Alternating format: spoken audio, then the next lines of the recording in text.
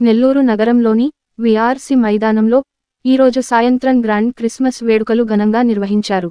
ఈ దృశ్యాలు మీకు అందిస్తున్నది సెవెన్ టీవీ ఛానల్. ఈ వీడియో నచ్చితే లైక్ చేయండి షేర్ చేయండి సబ్స్క్రైబ్ చేయండి. మరిన్ని వీడియోల కోసం గంట సింబల్ క్లిక్ చేయండి.